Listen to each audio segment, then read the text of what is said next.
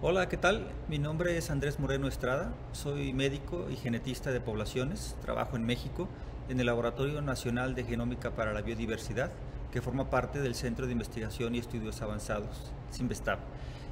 Soy responsable del área de servicios genómicos, donde secuenciamos y genotipamos muestras de ADN de diversos organismos, incluyendo poblaciones humanas. Mi laboratorio de investigación está interesado en comprender el papel de la diversidad genética en la evolución humana y en el riesgo de enfermedades, particularmente en poblaciones latinoamericanas y comunidades subrepresentadas. Durante la pandemia de COVID-19, gran parte de la investigación científica en todo el mundo se ha centrado en descubrir variantes genéticas asociadas a la susceptibilidad de infección y a la gravedad de la enfermedad, por lo que es importante comprender la distribución de las variantes de riesgo a través de diferentes regiones para detectar poblaciones e individuos en mayor riesgo.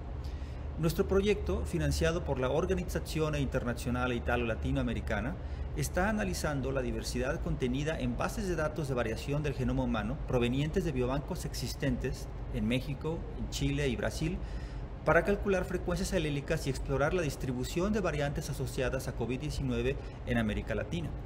Este trabajo está conectando a investigadores y estudiantes de diferentes países con el objetivo común de comprender mejor el perfil genético de nuestras poblaciones en el contexto de una pandemia que está golpeando fuertemente a Latinoamérica y donde las herramientas genéticas pueden ser útiles para apoyar estrategias de salud pública en la región y así combatir juntos esta crisis mundial de salud.